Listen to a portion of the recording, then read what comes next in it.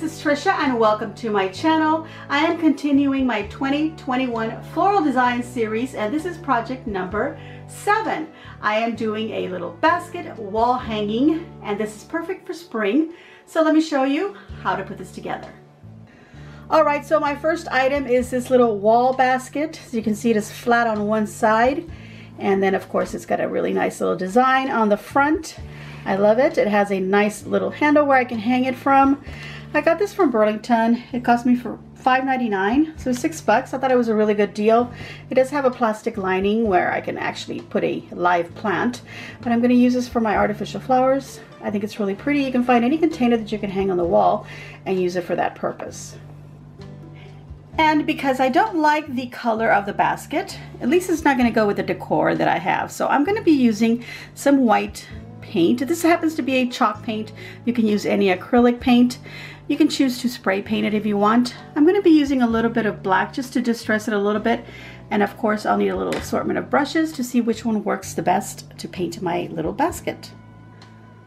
Here I have some flowers that I'll be using in my arrangement. I have these cute little geraniums. I believe I got this little bush from a store called At Home. It was $2.99, so I paid $3 for it. I thought it was a really good deal. It is really pretty. I love the green of the leaves. Here I've got a little bush that I actually grabbed from the Dollar Tree. You can grab all your flowers from any dollar store. That'll work just fine. This is really pretty. Another pink to add to that.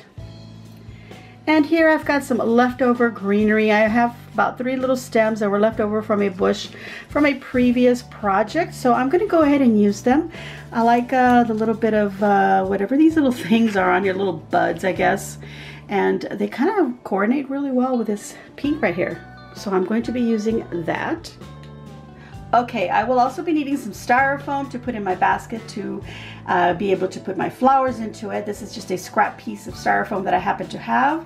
You just need a piece that is big enough to fit into your container, either snugly or you'll be able to hot glue it in there. I'd like to add a bow to my arrangement. So I've got some ribbon here. This is about a one and a half inch wide wired ribbon. And I just need enough to make a small little bow. I'm going to be using some floral wire to tie it up or you can use a chenille stem and here I have a floral pick this is a little wood stick you can use anything even a leftover piece of stem from a flower that you cut up so you can use that this will be used so that we can create a pick out of our bow to insert it into the styrofoam Alright, some additional tools are going to be my usual hot glue, wire cutters, and scissors. That is all that we need to create this particular arrangement, so let's get to crafting. Okay, so I'm going to start by painting my basket and I really just want to get the front of it here and the bottom. I don't need to worry about the handle because I'm going to have flowers here and that's going to hide the handle. And I do want to get the little edges here on the top. I won't worry about the inside.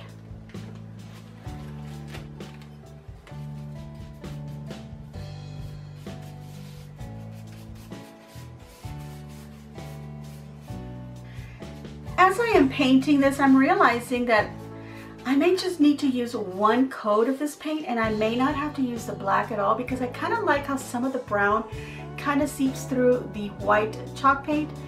So it'll be up to you how you decide if you happen to have a basket, you know, that uh, you know, you'll be able to kind of see the little bits in there, which if you want them to be fully coated, then get your brush to like push in really well. But if you don't do that, you might have some little bits of the undercolor showing and maybe you like that. So that's up to you. I think maybe just one coat is going to be enough. And what I like about that is that I don't have to use up too much of that little chalk paint that I got. All right, so like I said, once it is all dry, we can go on to the next step. But I want to go ahead and show you what I want to do to mine. Now, some of the brown does kind of show through the white, and if I didn't want that, I would give it a second coat or like if you're spray painting it, of course, give it a, a second coat as well, whatever color you decide to uh, use. I'm going to go ahead and clean this brush as much as I can, get some of that white paint off of there. And I've got some black paint here ready. So what I want to do is I want to take just a little bit, and I'm going to be using the same bristle brush because I feel it's going to give me the best uh, look that I want. And I'm just going to just kind of clean some of it off here.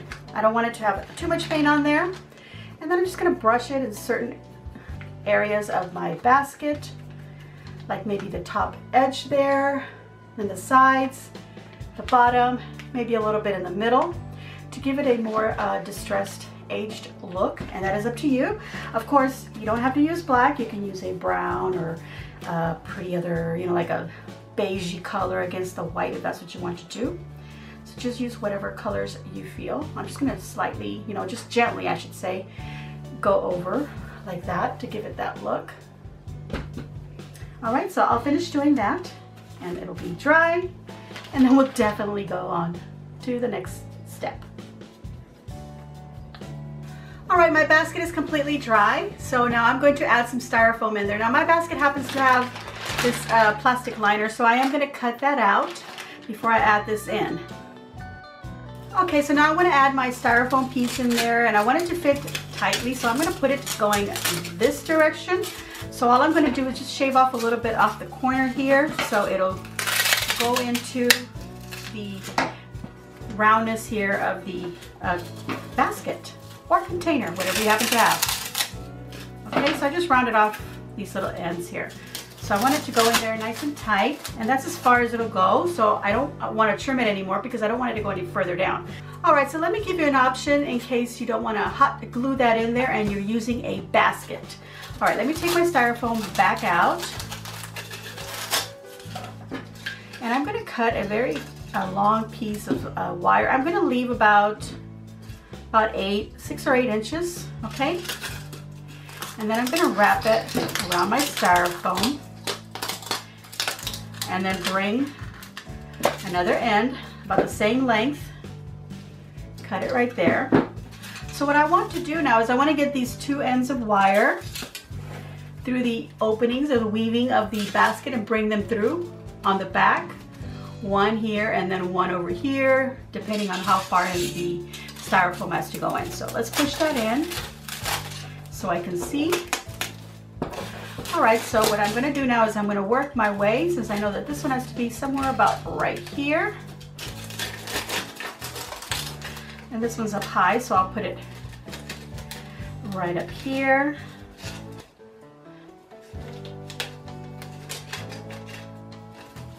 Okay, so now I'm just pushing it in to make sure that it is in there securely. And then I can bring my wires together, twist them, and I wanted them nice and long. And the reason that I want it long is because I want to make sure that I'll, I'll have enough length on these ends to not only bring them through, but to twist them up nice and tight so that the styrofoam does not come out. Also, you want extra length because in case you don't have something that you can hang your basket with, you can form a little loop by, you know, just going around your fingers and then loop, you know, twisting these ends together and then you create a little loop here that you can hang your basket from. But maybe you want to put a little wire a little bit higher up here, make the make the uh, loop come up a little bit higher so that it hangs right off of here rather than it going like that, like mine is, okay? So just keep that in mind. It's up to you how you want to do this. I'm actually going to hot glue this, but you know what? Since I've already wired it down, I'm not going to take it out. We're just going to pretend that we didn't put any wire on here. I'm just trimming off the ends because I don't need that because I do have this thing here to hang it from. Okay, so I'm just gonna push those little ends in so I don't scratch my wall or door, wherever it is I hang it from. So we're gonna pretend it doesn't have the wire. We're just, again, we're sliding it nice and snug. Once we have it nice and snug, you can go ahead and use your hot glue to place it right where it's touching so that uh, it won't pop out. And then just let that dry completely and then we can go ahead and create our little arrangement. Okay, so now I'm going to create a bow. So I'm cutting about 12 inches, or like I said, you could use a chenille stem. So here I've got some wire. I've got a little stick here that I can insert into the styrofoam. And then I've got my ribbon, and I don't have much ribbon here, so it's just a little bit, but I still want to make a nice little bow. So I'm going to get the two ends here because it's a really short ribbon. I don't think it's even 36 inches. No, it's, it's more like about 24 inches long. So I'm going to get the ends, fold them together, and cut to make the dovetail that I like. So that is up to you if you want to do that. Okay, so all I'm going to do is just grab it like this and decide that, okay, I want these little ends to be about that long. Once I know that, I can crisscross it right there, bring down the center, pinching it, and then pinching these. And there we have a little bow. And then just put the wire around it. And then you're gonna take your little stick, take one end of the wire and wrap it around, get the other end, wrap it around the opposite direction, get these nice and tight on there. And get all that wire, twist it on there. Okay, so now what we've done is we, and we can add a little bit of hot glue here too, by the way, if you wanna uh, make it a little more secure. Okay, so now what we've done is we've created a pick out of our little bow so we can stick it into the styrofoam. And look how cute that is. All right, so now I'm gonna go ahead and put my little bow in my basket because I wanna be able to place it in an area where it's not going to hide any flowers. So I'm kind of going off to the side here, just placing it right in there, just like that. Okay, so next thing I want to do is I want to decide uh, what flowers I want to put in my uh, basket here. I love all of these flowers. I don't know if I'm going to use them all, so I'm going to cut a piece at a time. I'm going to cut this one at the longest point, just like that. And what I need to do is I need to decide how tall I want my arrangement. So if you're looking at it like this, how tall up do you want it to come up against the wall? I'm going to do it sideways so that you can see the full thing. Let me bring the camera up just a little tiny bit. All right, so here we go. We're gonna add uh, the first flower. We're gonna decide how tall we want it to be on our arrangement. I'm actually gonna put this backwards like that so I can decide the height. I think I like that height, but as you can see, that's a long stem. And then I've got some leaves down here, which I don't wanna lose. So I'm gonna cut right above where the leaves are. That creates a little stem out of them. They're not wasted. And I'm actually gonna cut the stem just a little bit more because it's a little too long. Now I gotta keep in mind that the styrofoam is in there, but it's not till like about right here and it's about this wide. So just keep a little lookout for that. And I'm gonna add my first flower. And I'm gonna kind of direct it kind of towards the back here. I don't want it flat up on the wall, you know, when I put it on the wall like that.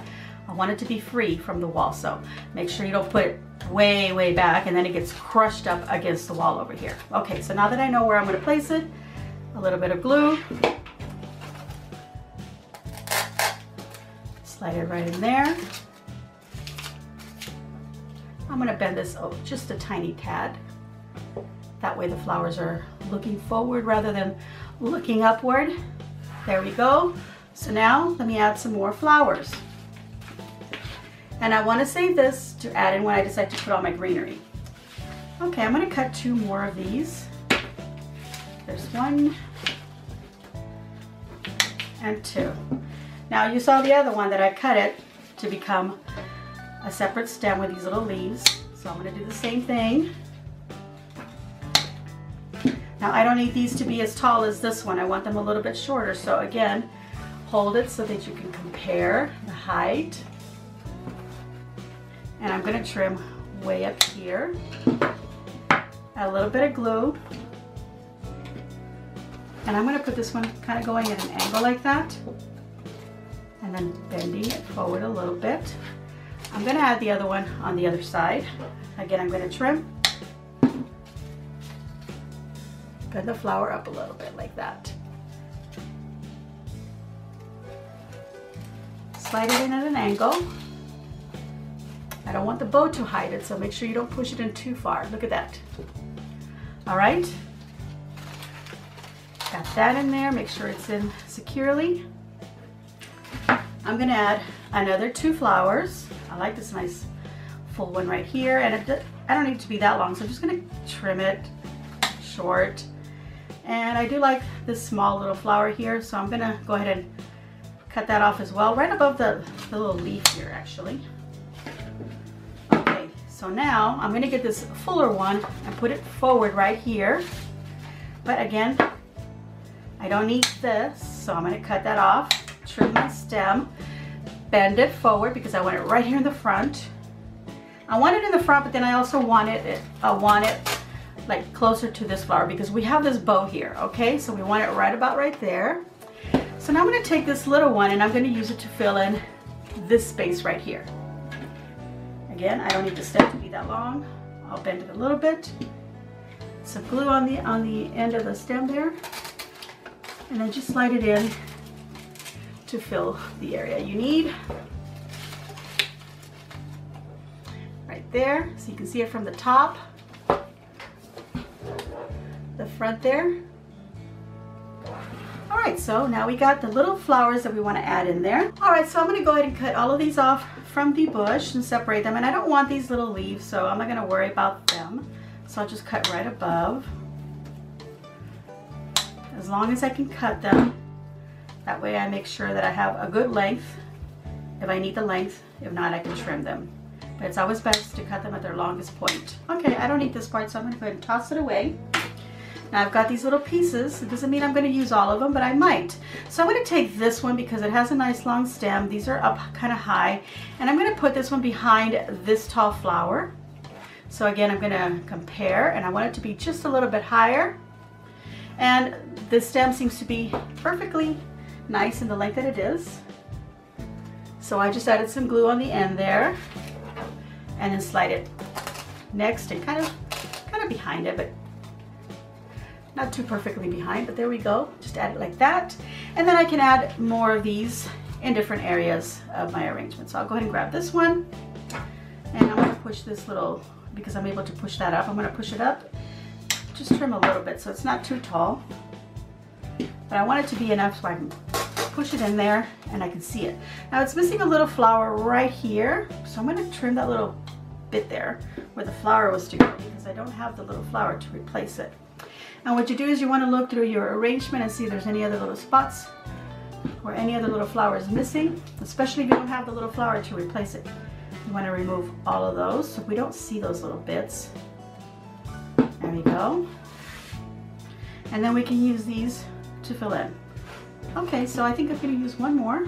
Slide that forward. Trim. Glue on the edge there and then put it between these flowers over here, kind of peeking over the bow. And I, if they were a contrasting color, they might look a little bit better than they do all pink, but this is what I had, and I really love the all pink lately, so I'm really loving this. Okay, I had some these left over just like I did the hydrangea, and I can use this in another arrangement. Now remember the little leaves that I cut from the geranium? I think I said hydrangea a moment ago. There's a geranium, so I'm gonna use these to fill in way inside so that I don't see the styrofoam. See how you can see the styrofoam? So I'm gonna push these way in, but I'm gonna cut the little stems kind of short, just enough to go into the styrofoam. Add some glue.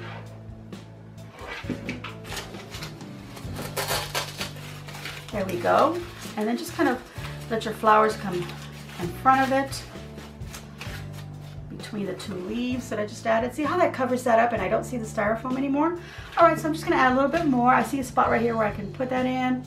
Maybe something back here. And that'll look really nice. So let's go ahead and do that.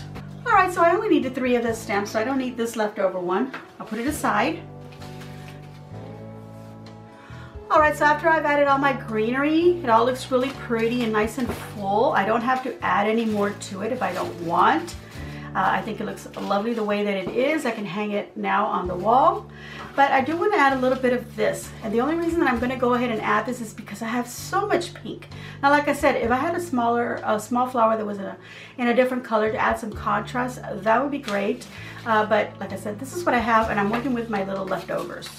Okay, so I'm going to go ahead and cut one of these stems into separate pieces so I don't have too many. Now these particular ones, some of this can be slid upward, but then some of them can't.